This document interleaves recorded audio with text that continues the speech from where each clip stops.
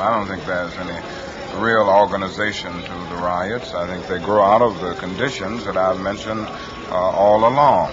And as long as these intolerable conditions are there, as long as the Negro finds himself living every day in a major depression, uh, then uh, every city will sit on a, a, powder keg and can explode over the slightest incident.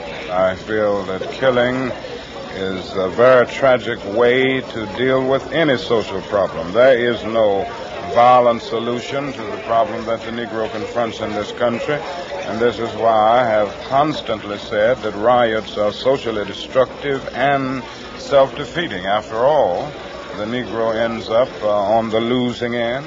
We can't win a violent revolution. Most of the persons killed in riots are Negroes themselves.